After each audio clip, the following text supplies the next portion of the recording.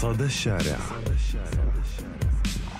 بدنا نعرف إيش اللي عم يصير. أيوه حتأثر رأيي ما راح يتغير. شيء؟ طبعا لم تحدث احداث والله ما بعرف فرق شيء لسه. إي طبعا. لا أنا متفق معها 100% أكيد لا. صدى الشارع. صدى صوتكم.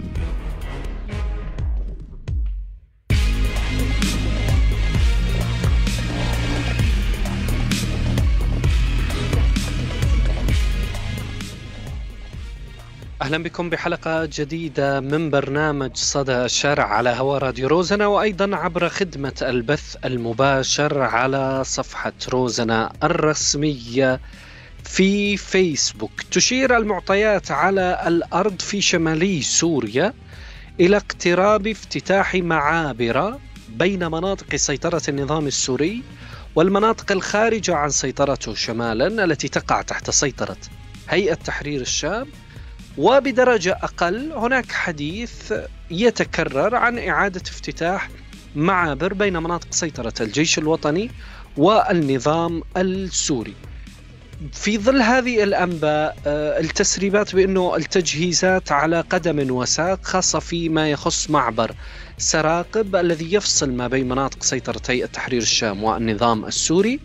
نقاش في الشارع حسب مراسلينا. وأيضا عبر مواقع التواصل الاجتماعي إن كانت هذه إرهاصات أو مؤشرات لا بداية تطبيق تفاهمات سياسية ما بين الطرفين أم أنها لتحقيق منفعة إنسانية. نسأل في حلقة صدى الشارع لحلقة نسأل في حلقة صدى الشارع اليوم عن رأيكم أنتم.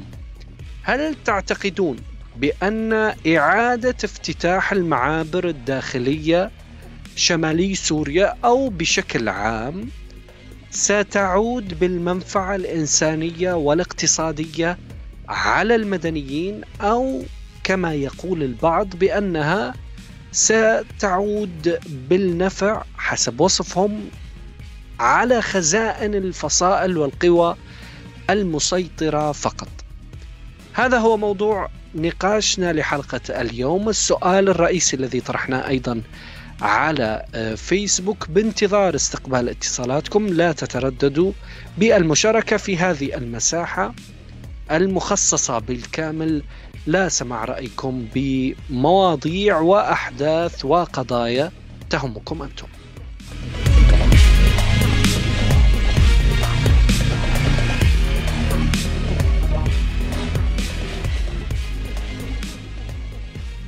إذا يمكنكم الاتصال عبر الواتساب صفرين تسعين ثلاث خمسات صفرين اثنين وخمسين ثلاث ثمانيات واتصال أرضي من تركيا صفر ثمانمية وخمسين أربعة أربع سبعات خمسة وستين. إذا شاركونا وجهات نظركم وآراءكم آه، فيما يتعلق بموضوع النقاش بحلقتنا لليوم. الموضوع اللي يعني آه، يشغل اهتمام نسبة لا بأس بها من السوريين. على الأقل من يقطن في شمالي سوريا البعض يرى بأن هذا الأمر سيعود بالنفع عليهم. منفعة اقتصادية منفعة إنسانية. البعض يرى بأنه سيعود آه، بالضرر عليهم. لا ارتفاع الأسعار بالأسواق المحلية ارتفاع أسعار البضائع تفضيل التجار وال فلاحين بأن يصدروا منتجهم لمناطق سيطرة النظام. هناك أيضا يعني مبدأ سياسي لدى البعض سواء بمناطق سيطرة النظام السوري أو في شمالي سوريا. تعتبر إعادة افتتاح المعابر هو شكل من أشكال التطبيع ما بين الطرفين وهي بداية لتطبيق تفاهمات سياسية ما جرت ما تحت الطاولة هكذا يقولون. والبداية بافتتاح المعبر ماذا عن رأيكم أنتم؟ عن وجهة نظركم اليوم في معابر داخلية تفصل ما بين الجغ... المناطق السورية على اختلاف القوى المسيطرة سواء الإدارة الذاتية وقوات سوريا الديمقراطية شمالي شرقي سوريا النظام السوري هيئة تحرير الشام الجيش الوطني والحكومة السورية المؤقتة. كل هذه المناطق تفصل ما بينها معابر رسمية مغلقة بعضها والنسبة الأكبر منها مغلق. أيضا هناك نقاط تهريب وأيضا هناك معابر لدخول الحالات الإنسانية.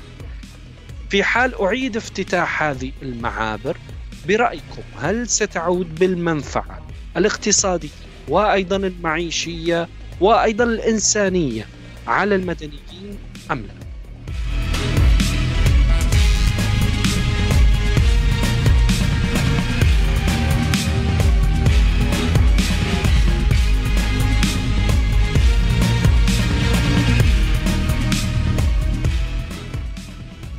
بانتظار استقبال اتصالاتكم وأيضا خلال الحلقة سأحاول بأن أعرض معلومات عن واقع هذه المعابر الداخلية المنتشرة باتت في سوريا آه، يعني عددها آه، جيد ما بين المناطق آه، التي يعني ما إن تنتهي مناطق ونفوذ قوى ما حتى تشاهد رايات جديدة أعلام مختلفة عناصر مسلحين على هذه الحواجز. البعض منها مغلق آه، يعني البعض الآخر آه، مغلق بالاسم وهناك حركة تهريب.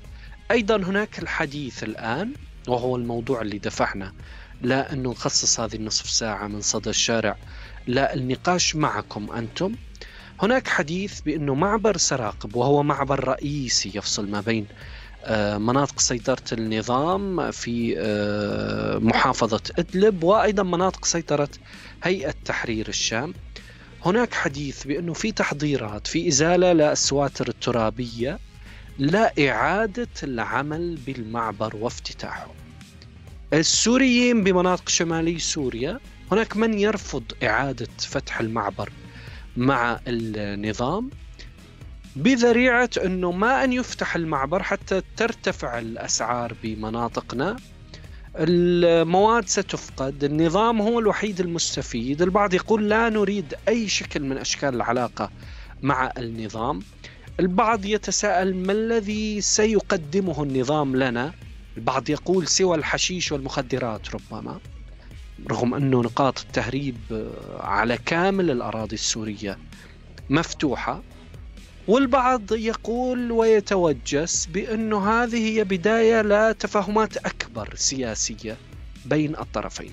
شاركونا اتصالاتكم وأيضا تعليقاتكم على البث المباشر.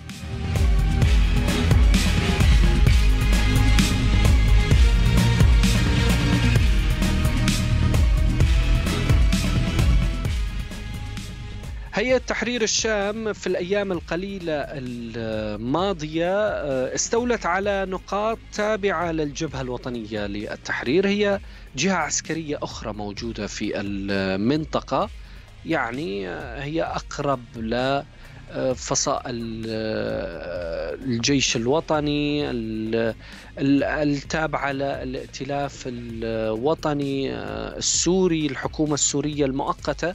يعني تقول بأنه هي امتداد للجيش السوري الحر سابقا الجبهة الوطنية التحرير أو شكل من أشكال الامتدادات. هيئة تحرير الشام أو جبهة النصرة سابقا فتح الشام لاحقا. حشدت عناصرها حسب خبر لموقع تلفزيون آه، سوريا نقلا عن شبكة أخبار الشمال المحرر على تليجرام. هاجموا النقاط أطلقوا الرصاص الحي. في واحد من العناصر اللي موجودين على النقاط السواتر المواجهة مع النظام أو ما يسمى بالرباط على محور سراقب شرقي إدلب أصيب برصاص هيئة تحرير الشام. كل هذا يندرج في إطار بأنه هيئة تحرير الشام تستعد لأن تفتح هذا المعبر معبر سراقب لا تريد أحد مع معها. تريد أن تعيد أن فتح هذا المعبر مع مناطق سيطرة النظام السوري. الجيش الوطني السوري قبل أيام افتتح لساعات قليلة يعني يقال بأنه ساعتين فتح أيضا معبر أبو الزندين مع مناطق سيطرة النظام السوري. صار في ردة فعل أغلق المعبر. المعبر مغلق منذ سنوات وتتردد الإشاعات بين الفينة والأخرى بأنه سيعاد فتحه. الحكومة السورية المؤقتة تقول بأنه لا فتح لهذا المعبر. أيضا هناك أنباء بأنه هيئة تحرير الشام تحضر لافتتاح معبر الترنبة الواقع آه، على أطراف بلدة سرمين آه، وأيضا مدينة سراقب اللي سيطر عليها النظام السوري. أحمد نور أرحب فيك على هوا راديو روزنا معنا عبر الواتساب من إسطنبول. اليوم المعابر هذه الداخلية إذا أعيد افتتاحها ألا تحقق منفعة إنسانية اقتصادية اجتماعية أيضا؟ لا السكان والمدنيين برأيك؟ يعطيك العافية. أهلا يا سيد أحمد آه، تفضل. هلا أهلا فيك الله يزيد فضلك. هلا بالنسبة للمعابر هلا أنا بصراحة ما بشوف. هلا آه، فعليا النظام هو راح راح يستفيد من فتح المعابر بس المناطق المحررة ما راح تستفيد شيء. تستفيد كيف؟ أنا بقول لك الشعب بيستفيد بحالة وحدة إنه إذا انفتحت كل المعابر الداخلية الشعب بيستفيد إنه بيحسن بيروح وبيجي على حلب والشام بالطرق القديمة آه يعني هذا الشيء الوحيد. الشعب يستفيد أيوه طرق التهريب شفت يعني كثير عم بتكلف آه والناس كثير عم تتعذب و... واحيانا أحيانا ما عم يوصلوا يعني عرفت كيف؟ هذا الشيء الوحيد الشعب اللي راح يستفيد منه. آه بس شيء ثاني ما بظن. مثل ما قلت حضرتك من شوي سمعتك قلت إنه آه في غير المخدرات والممنوعات راح يوصل يعني في دول عم تغلق يعني حدودها ما هي يعني هنا الأردن. تشدد. فربما هذا الفتح يقولون بأنه آه، قد أيضا يغرق المنطقة التي تعاني أيضا من إنتاج و يعني انتشار المخدرات. في الطرف الآخر أيضا هناك من يرفض الأمر يرى بأنه هذه المناطق آه، لا نريد آه، بأن نفتح ويصير في تصدير أيضا من مناطق سيطرة النظام. لا هذه المناطق ربما من بعدها يصير في تصدير لتركيا. بالتالي أيضا السوق المحلية بمناطق سيطرة النظام ستشهد ارتفاع بالأسعار وهي تعاني كما كل الأسواق. يعني هنا الحديث عن الاكتفاء الذاتي الاقتصادي بكل منطقة. اليوم ممكن يكون في بداية لتفاهمات اقتصادية بوابتها إعادة افتتاح المعابر برأيك أحمد؟ ولا لا؟ والله بصراحة ما فيني أقول لك إيه أو لا يعني المشكلة الوضع مكركب عرفت كيف؟ وفعليا مثل ما قالوا البعض يعني احتمال يصير غلا أكثر من الغلا اللي اللي نحن فيه هلأ بالمناطق المحررة. لأن النظام فعليا يعني عنده كل شيء قليل. عرفت كيف؟ عنده كل شيء قليل. كل شيء غالي. و... ويعني المواد الغذائية يعني الكل بيعرف آه، الوضع ب... بال- بالنسبة لل- للمواد الغذائية وبالنسبة للخضار وال- لكل شيء يعني. عرفت كيف؟ دائما بيقولوا إنه بالمحرر المعيشة أحسن من النظام آه، ومثل ما قلت لك يعني الشيء الإيجابي الوحيد اللي راح يستفيد الشعب منه إنه الناس بتقدر بتروح تجي على راحتها من دون ما تدفع كل الدولارات اللي عم تدفعها إيه أشكرك بس جزيل يعني. الشكر على رأيك شكراً أحمد أتمنى لك يوم. سعيد ربما لا يتوافق عدد من المراقبين للشأن السوري من السوريين مع ما قاله أحمد آه، بأنه كل المناطق السورية تعاني القول بأنه في منطقة وضعها في بحبوحة يعني عن المنطقة الأخرى يعني تبعا لمنطقة السيطرة هذا الكلام ربما غير دقيق. كما تقول أرقام المنظمات الأممية والحقوقية الجوع منتشر في كل سوريا. الاقتصاد منهار في كل سوريا. أو شبه منهار يعني. التذمر موجود في كل سوريا. حالة التيه وانه إيش بدنا نعمل موجودة في كل سوريا. ربما هذه وجهة نظر ربما إعادة افتتاح هذه المعابر الداخلية اللي راح توفر على الناس أنه تقطع الطرق أمام التهريب ودخول البضائع بطريقة غير شرعية. ربما تنعش الاقتصاد المحلي تبعا لمنطقة السيطرة. هذا الرأي حاضر. البعض أيضا يضع إشارات استفهام. هل هذا يأتي ما بعد الاجتماعات الروسية التركية على وجه الخصوص؟ هل المنطقة مقبلة على شكل جديد من الانفتاح ما بين القوى المسيطرة؟ بدايته ستكون بالمعابر إنه هذه آه، بداية العلاقة فتحنا المعابر وعادت العلاقات الاقتصادية والسياسة جاية بعدين. نذهب الآن ونرى استطلاع أجريناه في وقت سابق. سألنا الاستطلاع جاهز صح يا آش؟ جاهز. آه، سألنا مجموعة من المدنيين في آه، شمالي شرقي سوريا وشمالي غربي سوريا. فيما إذا كانوا هم شخصيا تأثروا في بإغلاق معبر أو فتحه أو إعادة افتتاحه. عن رأيهم بإعادة افتتاح المعابر الداخلية في سوريا ومن بعد الاستطلاع راح نذكر بعض المعلومات حول المعابر الداخلية وبالتأكيد نستقبل اتصالاتكم.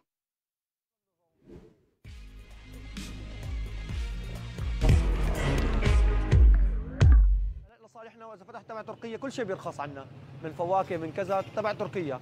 فتح تبع النظام آه، بيغلى علينا بضاعة النظام وبضاعتنا بتغلى علينا تبع تركيا لانك تصدر للنظام. صار علينا كثير يعني مو شوي. يعني بينما كنت تاخذ كيلو بندورة ب 500 600 800 ألف اليوم 2000 ليرة كيلو بندورة. بالفترة الأولى كنت جيب بضاعة من ناحية النظام. تأثرت آه، إنه انقطع آه، الطرق معنا وبيننا وبين النظام. وما بقى نحسن نجيب البضاعة. وبعدين مشي حالنا وصلنا نجيب بضاعتنا من تركيا. بشكل عام تأثرنا كلياتنا يعني مسألة مسألة المعابر. حاليا أنا لي بلبنيه بلبنان تريد تجي صار لها 15 يوم. سكر المعابر ما تقدر تجي. المعابر الداخلية طبعا آه، نحن ما تأثرنا فيها بشكل كبير لأنه معظم المواد اللي عم تجينا من النظام أو من المعابر الداخلية هي عبارة عن كماليات وإذا فتح رح يكون من عنا يسحب مواد أساسية. إحنا بحاجة ماسه لفتح المعابر لل... حتى يفتحوا مجال للشحن سواء من أدوية من خضار من بقوليات. طبعا أشياء مؤثرة بالنسبة للمعيشة. من سنتين كان الوضع عندنا هون من ناحية المواد الأساسية من زيت من عنب من تين.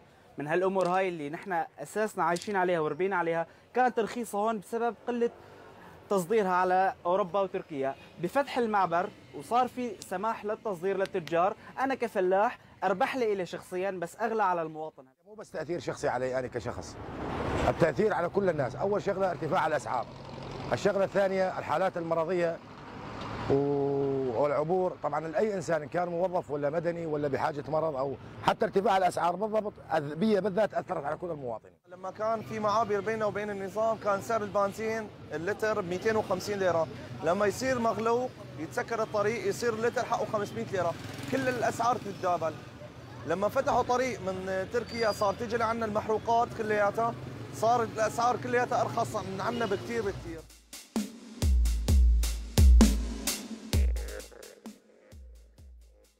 إذا هذه كانت آراء عدد من السوريين في شمالي شرقي سوريا وشمالي غربي سوريا في استطلاع أجريناه آه، سابقا لروزنا. ربما بالربط لمن استمع. يعني ناقشنا بحلقة آه، منذ آه، أيام حول موضوع تأثير مناطق النفوذ المختلفة القوى المسيطرة هذا العزل الحاصل بين المناطق على بنية المجتمع السوري وعلى وحدة المجتمع السوري. ربما ما استمعنا إليه له آثار اجتماعية. ال... يعني الغالبية اللي ظهروا يقول لك اللهم أسألك نفسي. أنا بدي مناطقي يعني. المنطقة تبعيتنا ما بدنا إياها تتأثر. وكأنه يتحدث عن دولة أو دويلة. يعني وهذا البعض يقول بأنه مفهوم ومقدر العالم بدها مصالحها الشخصية. يقول لك أنا ما عاد أنا بدي الأسعار تبقى على ما هي عليه. ما ترتفع آه، وخلاص أنا هذا اللي يهمني فناقشنا وكان الغالبية ممن صوتوا على سؤال الحلقة آنذاك بأنه السوريين ربما لا يعرفون أخبار بعضهم البعض وأيضا ناقشنا جزئية إذا ما كانوا يهتمون لأمر بعضهم البعض.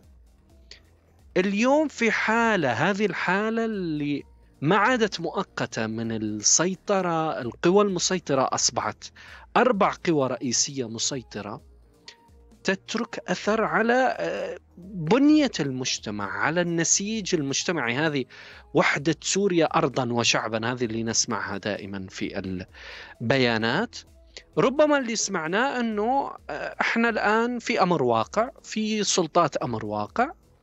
بدنا واقعنا ما يتأثر لأنه بمجرد ما فتحت المعابر سيتأثر واقعنا. في وجهة نظر أخرى أيضا سمعنا عنها بأنه لا الأمر سيعود لنا بالنفع حتى من ناحية السفر والزيارات والذهاب من منطقة لاخرى.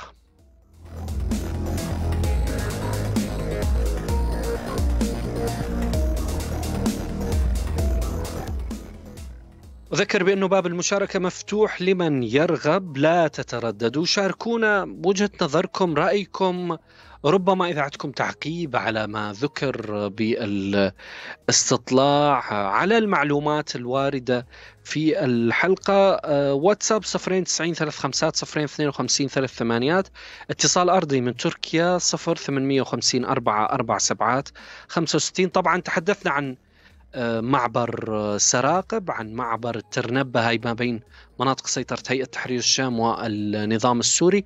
أيضا معبر أبو الزندين والحديث والشائعات بأنه فتح ما فتح. هل سيقتصر فقط كما اعتدنا خلال السنوات الماضية على العمليات تبادل الأسرى الحالات الإنسانية ولا لا؟ أيضا راح يكون في توجه جديد. آه، يعني هذا ما يخص شمالي سوريا. في شمالي شرقي آه، سوريا أيضا هناك إعادة لافتتاح معبر الصالحية. هذا حتى نأخذ الصورة بالمشهد العام.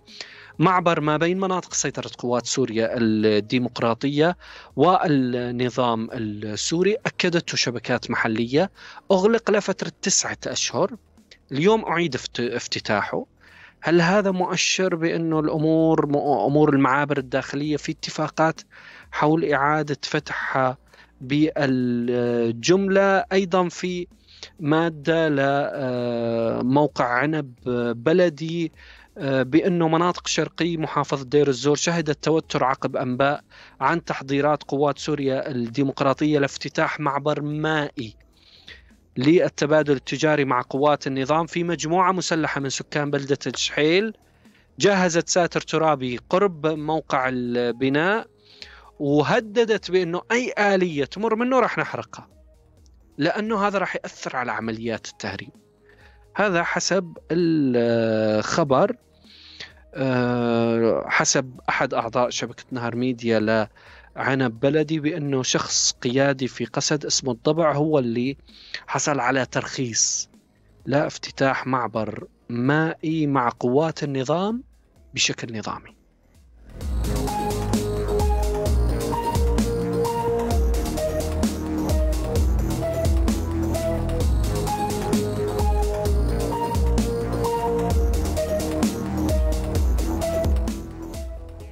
خلينا نروح الآن هذه المعابر الداخلية. ربما مو الكل عنده اطلاع عن المعابر الداخلية. في معابر تربط سوريا مع الحدود مع الأردن.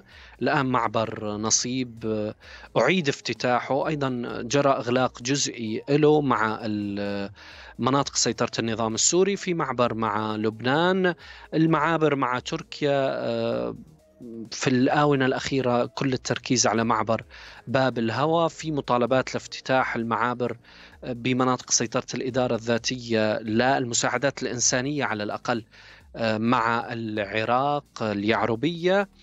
في هذه المعابر الداخلية اللي صارت في السنوات الماضية لأنه في قوى مسيطرة مختلفة في سوريا بمادة بحثية لموقع مركز جسور للدراسات الأستاذ خالد التركاوي والأستاذ عبد الله عبادة العبد الله وبشير نصر الله وأنس شواخ ومجد آه، كيلاني.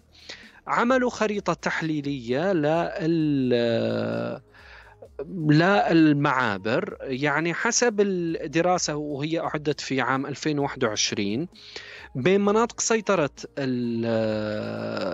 النظام السوري وقوات سوريا الديمقراطية في تسع نقاط تهريب. في سبع معابر تجارية ومدنية بآن واحد في معبر واحد مدني. بين قوات المعارضة المسلحة يعني هم يسمون المعارضة المسلحة لمناطق هيئة تحرير الشام والجيش الوطني. بين قوات المعارضة وقوات النظام السوري في معبرين تجاريين فقط.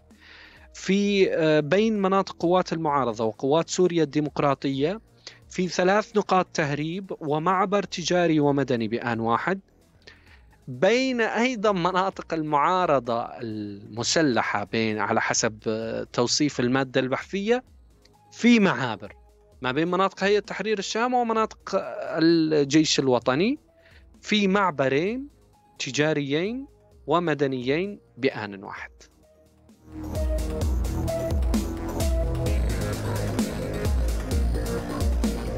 إذا الحصيلة هي 25 معبر آه، داخلي آه، معبر مدني واحد معبرين تجاريين 12 نقطة تهريب ومعبر مدني تجاري عددهن عشرة. يعني الأغلب هو آه، لا نقاط التهريب.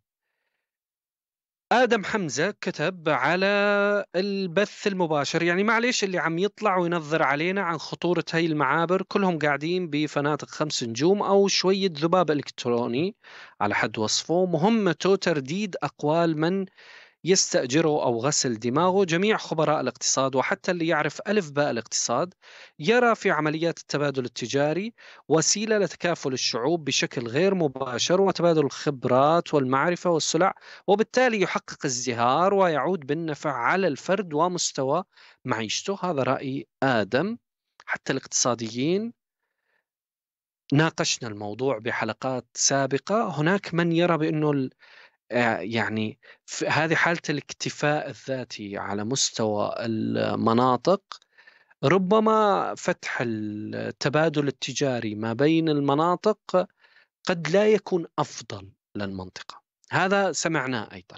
مع اتصال من عبد الرزاق. عبد الرزاق بعجالة إذا سمحت رأيك بموضوع النقاش لأنه ما عاد معي الكثير من الوقت. تفضل أنت على الهواء. آه، السلام عليكم. كيف أهلا يا محمد؟ أهلا عبد الرزاق تمام وأنت؟ آه، أنا أنا بقول على الصعيد الإنساني يعني كثير كويس.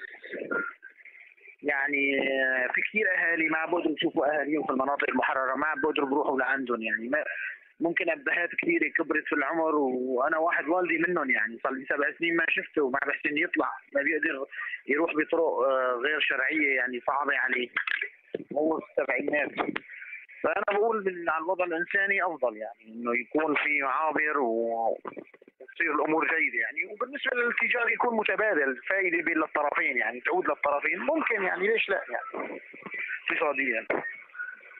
تمام. أشكرك جزيل الشكر على آه، يعني عبد الرزاق آه، يرى بأنه وهم وهو يعني يتفق مع وجهة نظر نسبة لا بأس بها بأنه سيعود الأمر بالنفع علينا.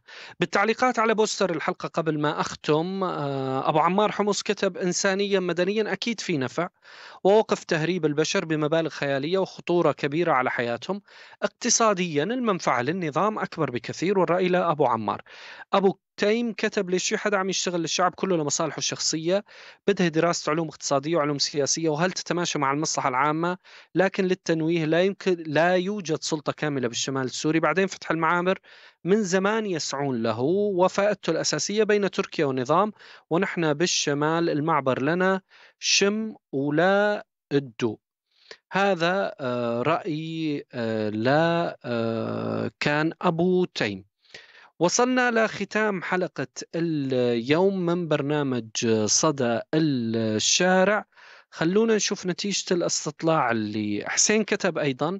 المعابر التجارية والمدنية خطوة جيدة نحو الحل والحد من التهريب. هل يتفق معه من صوت على سؤال الحلقة؟ نرى.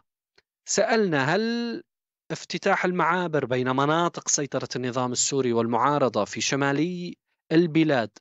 هل تحقق منفعة إنسانية واقتصادية للمدنيين. 35% قالوا نعم تحقق منفعة إنسانية واقتصادية. و65% قالوا لا لا تحقق أي منفعة أو على الأقل ما في يعني آه، استفادة للسكان بكل المناطق يعني على مع الأسف على الضفتين آه، من موضوع إعادة افتتاح المعابر. نراقب في حال حصل أي أمر رسمي بالتأكيد تجدونه على موقع روزنا الإلكتروني من ناحية إعادة افتتاح المعابر. في آه، شمالي سوريا بشكل رسمي الحديث الآن عن معبر سراقب على وجه الخصوص. أترككم بعد نصف ساعة تقريبا من الآن مع الزميلة ليلى ببرنامج ميكروفون. أشكر لكم حسن الإصغاء وأيضا لمن شاركنا في حلقة اليوم. تقبلوا تحياتي أنا محمد الحاج وفريق العمل دمتم بخير. صدى الشارع صدى صوتكم.